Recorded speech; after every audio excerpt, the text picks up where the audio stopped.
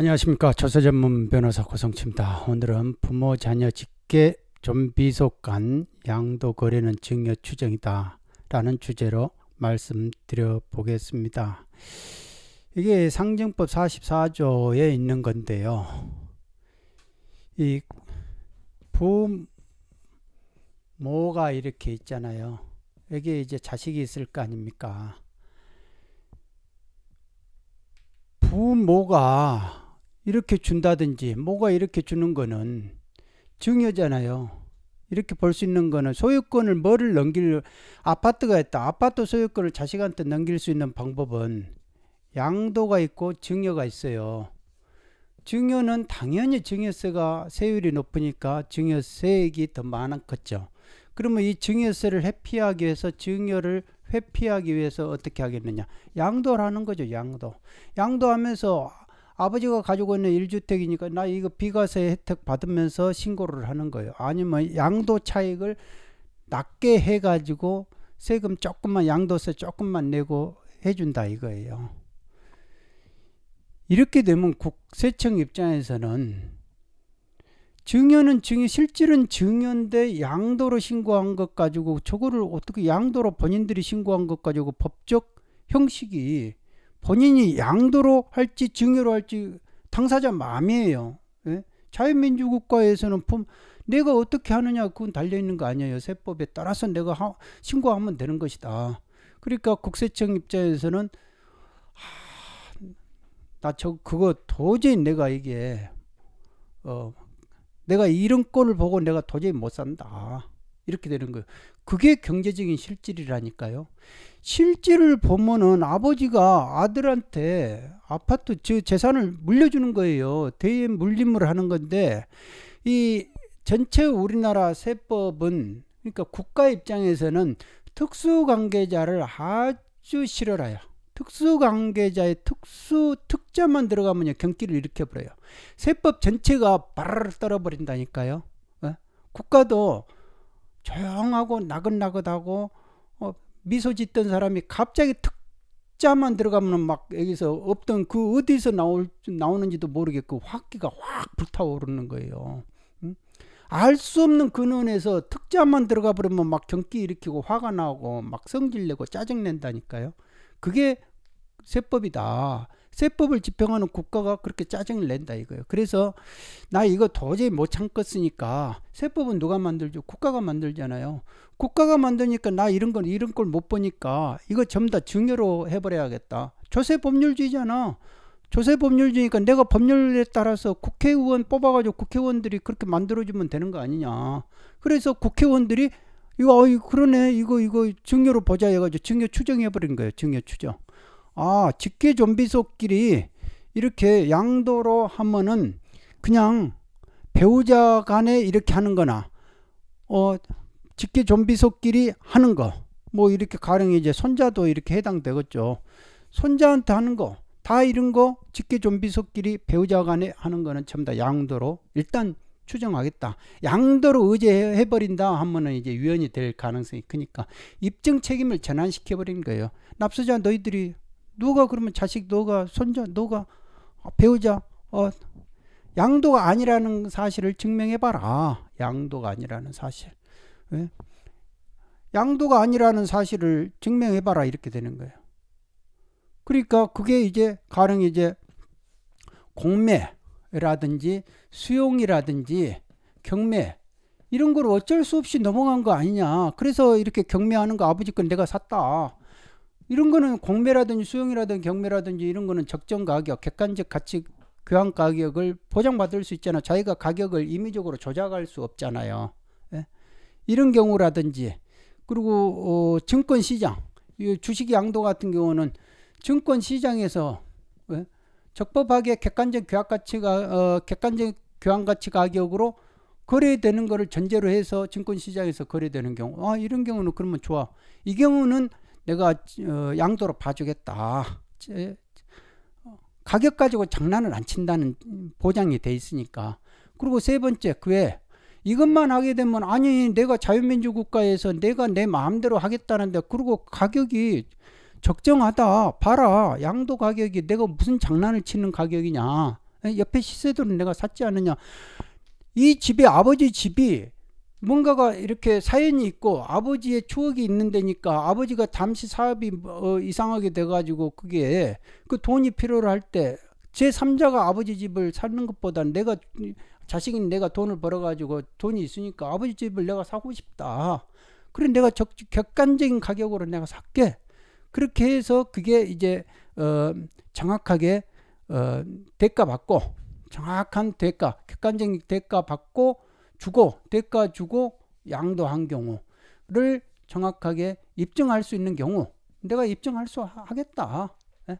계좌 쌓아주고 계좌로 이체해주고 그 가격에 주변에 시사하고 맞고 이런 식으로 했다라고 하면은 좋아. 그럼 국가가 그거는 이제 내가 화 안 낼게 그 정도는.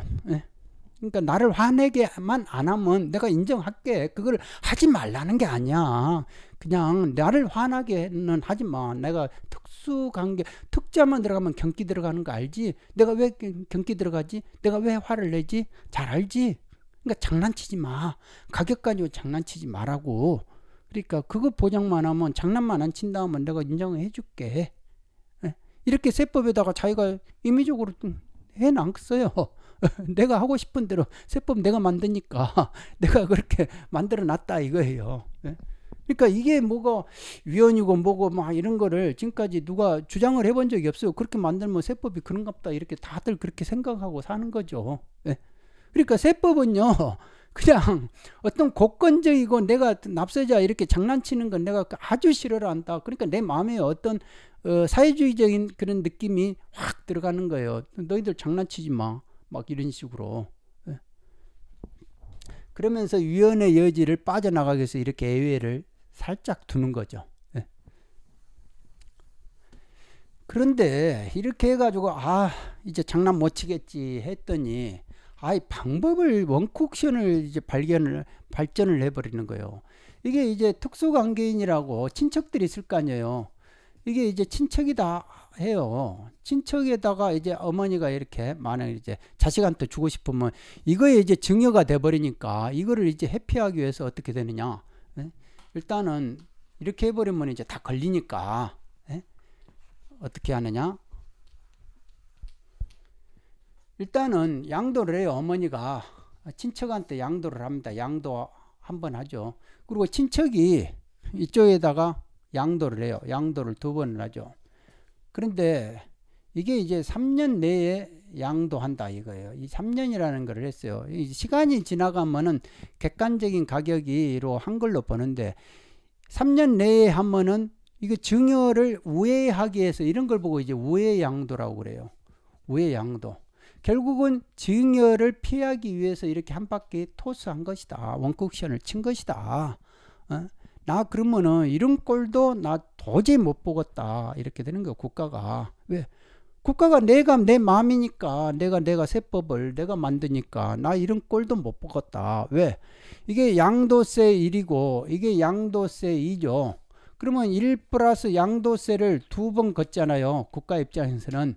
그런데 이게 막바로 이렇게 뭐가 뭐가 이렇게 막바로 예?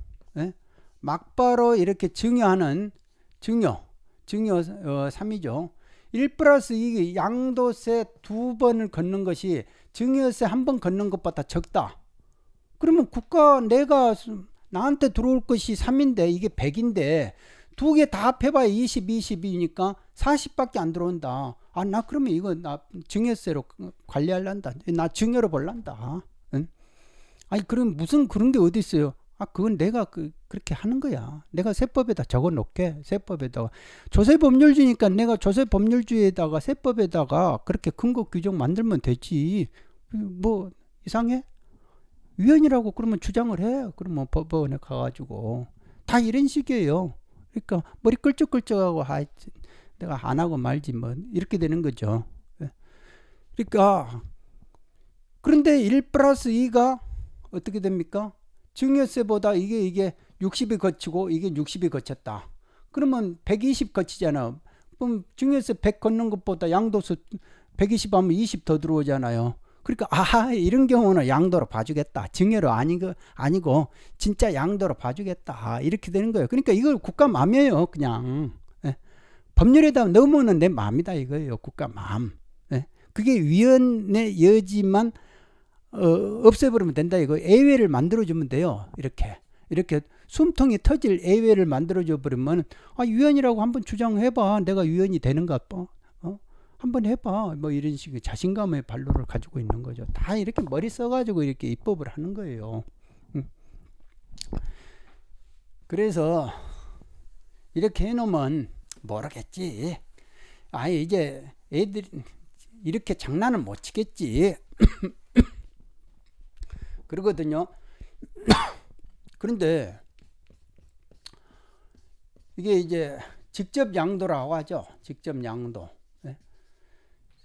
직접 양도는 부모가 이제 이렇게 이렇게 한다든지 이렇게 하는 경우를 말하잖아요. 증여라고 분명히 내가 증여라고 말을 해놨는데도 뭐, 뭐 형법에다 만들어 놓으면 범죄 없어집니까? 안 그러잖아요. 모르겠지. 우리가 이렇게 그 양도하는 거 이렇게 양도하고 양도세 내가 1세대 1주택으로 비과세 신고하는 거예요. 예? 아이, 모르겠지. 그리고 설령 알더라도 내가 좀 세무 공무원 좀 아니까 예? 어떻게 사바사바 좀 해버릴란다. 예? 차라리 이게 어, 증여세 1억 줄 거면 내가 거기서 한 5천만 원이라도 비용 써가지고 뭐 해버리겠다. 뭐 이런 식으로 생각하는 사람들이 있어요. 실제 있어요. 어. 그래서 그럼 이렇게 한 경우들이 2011년부터 2016년 그 5개년을 2011년부터 2016년을 5개년을 감사를 해보니까 감사원에서 국세청을 감사를 해보니까 오, 어느 한 지방청 거를 해보니까 1286건이 나오는 거예요. 1286건. 이 실제로 이런 건들이 1286건이 나오고 여기서 양도세 무신고한 것만 753건이 나와요.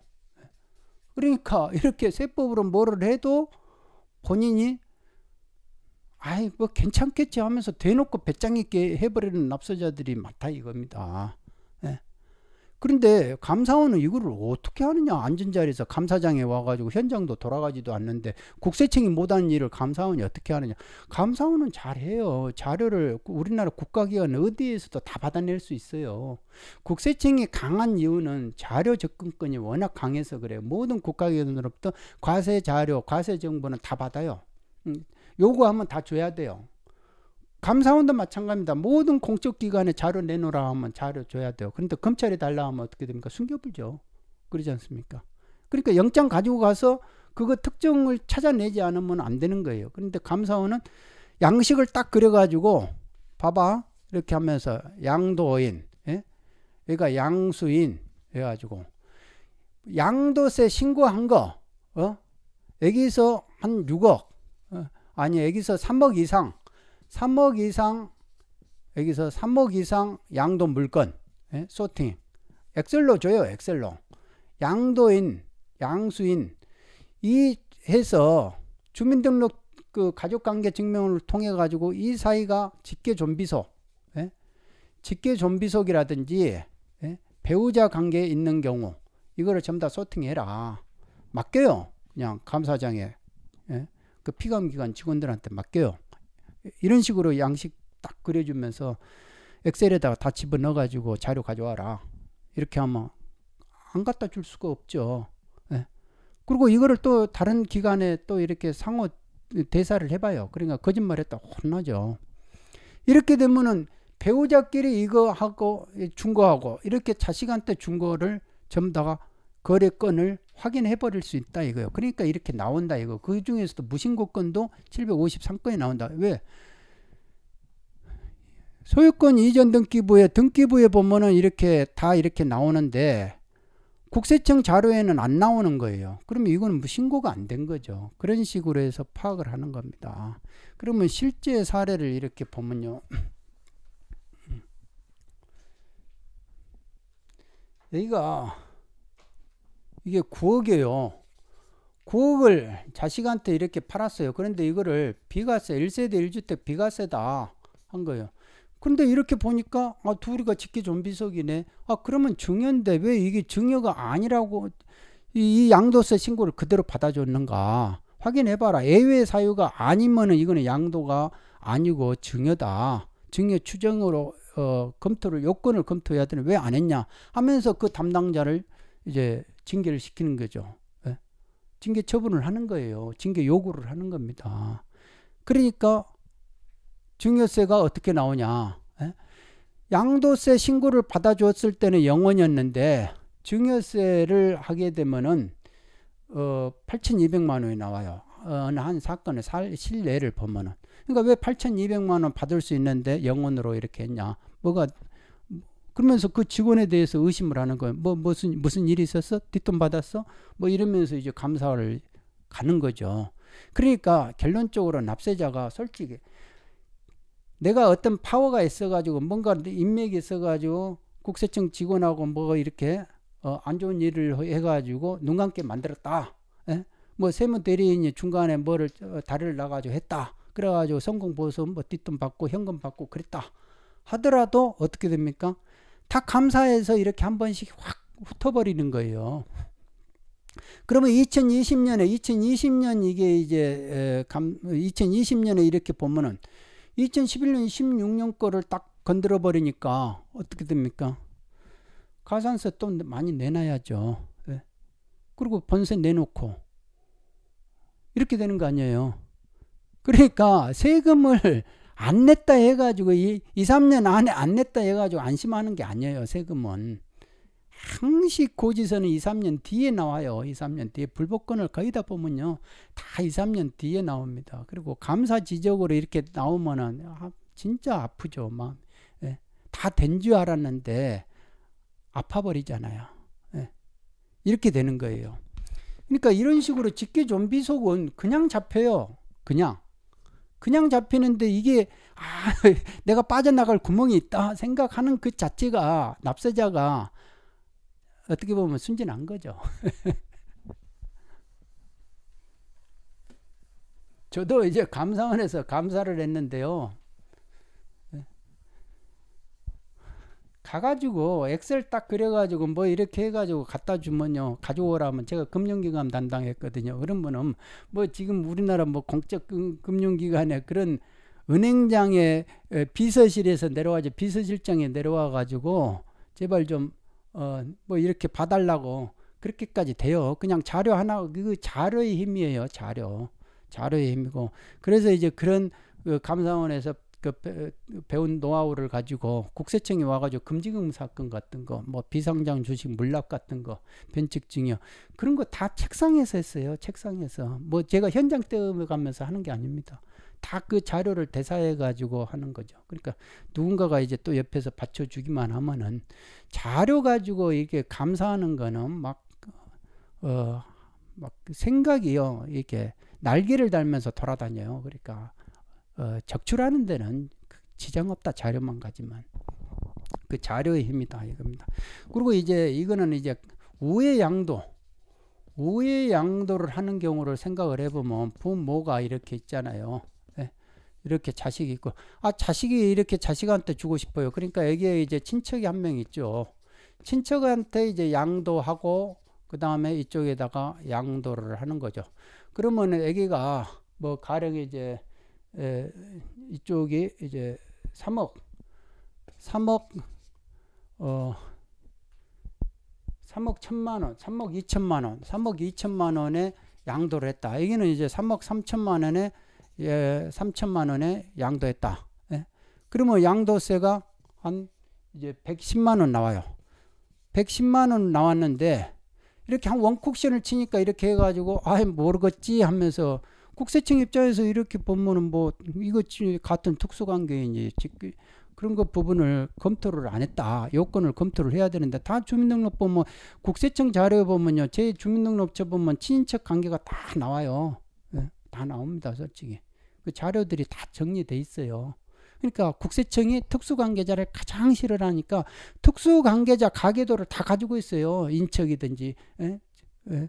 친가든지 그러니까 외가든지 친가든지 다 가지고 있다 이거 다 정리가 돼 있다 그 자료들이 그러니까 이 경우는 증여로 하면은 이거를 증여로 봐보면은 6,600만 원이 나오는데 이 110만 원밖에 못 받은 거예요. 그러니까 어, 문책해라. 요건 검토가 잘못했다. 이런 식이 돼버린 거예요. 그러니까 징계 맞으면 어떻게 됩니까? 국세청 직원들은요, 세무공무원들은 징계 한 번씩, 감사 지적 한 번씩 걸려버리면요, 승진해서 완전히 이렇게 밀려버려요. 음.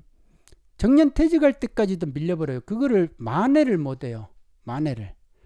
워낙 많은 사람들이 경쟁을 하니까 이런 피라미드를 이렇게 가다 보니까 여기서 한번 탁 떨어져 버리면 이 나라가 떨어지면 밀려버리면 이거를 다시 못 치고 못 올라간다니까요. 왜 계속 올라가는 사람들이 있기 때문에 그래서 국세청 세무 공무원들은 항시 감사에 걸립니다. 감사에 걸립니다.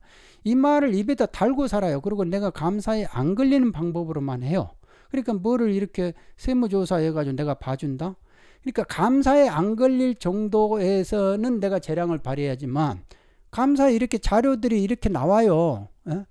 이런 자료들은 내가 눈 감는다 해가지고 되는 게 아니고 외부에서 이렇게 전부 다 떠들어 버리면 감사원에서 떠들어 버리면 다 알게 된다 이거. 그러니까 그것도 번청에서 번청 감사가 해도 되는 거고 지방청 감사가 해도 된다. 감사원 감사다. 그러니까 삼중의 그, 그 겸, 감시 체계가 있기 때문에 세 개의 공정경무부가 떠가지고 세 개가 크로스 해버리면은 안 걸릴 방법이 있나요? 네, 그러잖아요. 그러니까 내부 감사는 그냥 서로가 사바사바 해가지고 좀 봐달라 이렇게 할 수는 있지만 외부 감사가 와버리면은 내가 너를 왜 봐주니 이렇게 되잖아요. 물론 이제 그것도 다 사람이 하는 일이니까 사람이 하는 일이니까 뭐다 어, 그런 거 거의 그런 영역들은 있죠. 음. 그래도 이렇게 감사 지적 한 번씩 받으면요 국세청은 경기를 일으킨다 이거예요. 네?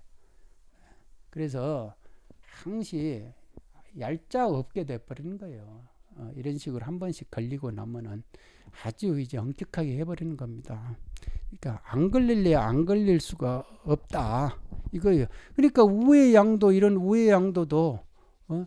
86건을 찾아 출연해요. 왜 어떻게 하느냐? 이 양도 최초 양도인하고 마지막 양수인 있잖아요. 여기는 이제 친척이고 예?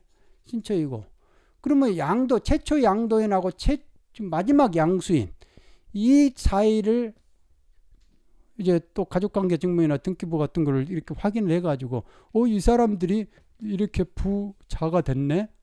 그러면 직교 좀비속이네. 그러면 소팅해가지고 이 사람들 건을 다 찾아봐. 그러면 86건이 나오더라 이거예요. 이런 식으로 이제 다 잡아낸다, 적출한다. 그리고 다 증여서 과세하는 거죠. 그러니까 납세자들이 국가의 이런 정보망이라든지 국가가 가지고 있는 이런 자료 이런 거를 무시, 어, 함부로 생각하시면 안 돼요. 뭐든지 그 자료, 자료를 비교 대사하면서 모든 것이 감사 지적이 이루어진다. 앉아서 할 수 있어요. 앉아서 그냥 책상에 가만히 앉아서 이 자료 가져와, 이 자료 가져와. 소팅만 하는 거 이런 식으로 어, 엑셀로 딱 해가지고 물건지 여기 3억 넘어간 거 배우자는 6억 넘어간 거 물건 양도인하고 양수인하고 이 두 사이에서 직계 좀비속 관계 있는 것들 다 소팅해가지고 가져와 보세요. 이렇게 하면은. 가져오면 이미 끝나버린 거지. 이제 감사는 끝난 거다. 이렇게 되고 어, 감사 직원 아니 이제 직원 오라 해가지고 문답 받을 사람은 문답 받고 그렇게 하면 징계 받을 사람들은 이제 문답 받아야 돼요. 그래가지고 문답 딱 거기서 받고 거짓말은 막 뭐라 하고 이렇게 되는 거죠. 그러니까 능력 있는 어, 감사관들은 조용조용하게 말해요. 조용조용하게. 그리고 마지막 부분에 마지막 순간에 딱 불러요. 그리고 문답 받고 딱 끝나는 거죠. 그러면 뭐 벌벌 떨죠. 예. 공무원이 그게 특히 세무 공무원은 승진이 이게 뭐 진짜 공무원한테는 이 승진이 큰 생명이거든요. 예, 공직이 큰 동력인데 원동력인데 거기에 막히고 감사 한 번씩 지적당하면은 힘들죠. 그러니까 그래서 납세자가 아 뭐가 세무공무원한테 뭐 이렇게 하면 세무공무원 융통성 부려주겠다. 라고 생각하는 조금 오산이다. 근데 다 노는 세계들이 좀 있어요. 있다 보니까 우리나라 세계가 다 사람이 인맥으로 하는 세상이다 보니까 뭔가가 이런 또 사각지대는 있죠. 사각지대는데 또 그거를 메꾸려고 또 감사가 그러니까 조기경 공정경보위가 뜨고 조기경보위가 뜨고 그런다 이거죠 맨날. 그러니까 제가 볼 때는 웬만한 거는 다 걸러진다. 그런데 진짜 거학들, 진짜 거학들, 국고에 손대는 국가 예산에 손대고 국가 돈에 손대고 예? 그리고 진짜 몇천억씩 공제를 안 해야 될 걸 공제를 한다든지 이런 경우에는 진짜 서로가 어, 이렇게 암묵적으로 하지 않으면 안 된다. 그런 사람들, 그런 팀, 그런 마피아들 있다 하면은 그런 세력들을 건드려야 된다. 그런데 그런 세력을 건드려야 될 칼을 찔러야 될 사람들이 그쪽에다 안 하고 맨날 이렇게 이런 사람들만 그냥 난도질 해부르고 칼질 하고 있으면은 세상은 안 변하는 거죠. 예. 그러니까 중요한 거는 거학들이 그런 혹여나 국가 돈 손대고 국, 어, 큰 그게 몇천억씩 이렇게 탈루를 하고 이런 세력들이 있는지 확인을 하고 그런 사람들이 있다면 과감하게 손을 대야 된다. 그런데 권력하고 가까우니까 권력에다 눈치 보고 아예 안 본 척 해버리는 거야. 봐야 될 사람이 칼을 대고 딱 찔러야 될 사람이 딱 저쪽으로 아예 안 봤, 나는 안 봤다. 이렇게 해버리는 거야. 안 봤다. 나는 안 봤다. 이렇게 어, 덤벼 들지도 못하고 그러는 거죠. 예. 그러니까 이게 아, 오히려 고개 숙이면서 내가 그, 어, 어, 그쪽에 무리에 우두머리한테 이렇게 딸랑딸랑 하면서 그러면서 남들한테는 이렇게 가오, 어, 어, 어 깨 딱 의시되고 어, 항시 자기 졸개들 데리고 다니는 그런 멋으로 사는 공직자도 있기는 있죠. 음, 그런데 다 소문이 나 있어요. 그 세력들이 누구누구 누구 다 이름 석자를 말을 안 해서 그러지. 다 어, 그렇게 이름 석자를 어, 뭐 본인이 그렇게 산다는 데 멋질 겁니까? 그런데 또 그런 사람들이 또 조직에서 승승장구하니까 나라가 조금 이상하게 돌아가는 것 같기도 하고 그래요. 말, 말을 많이 했습니다. 오늘은 여기까지 하겠습니다. 감사합니다. 이 영상 도움이 되시면 좋아요, 라이크 꼭꼭 눌러주시기 바랍니다. 건강하시고 항시 복 많이 받으시고 행복하시기 바랍니다. 감사합니다.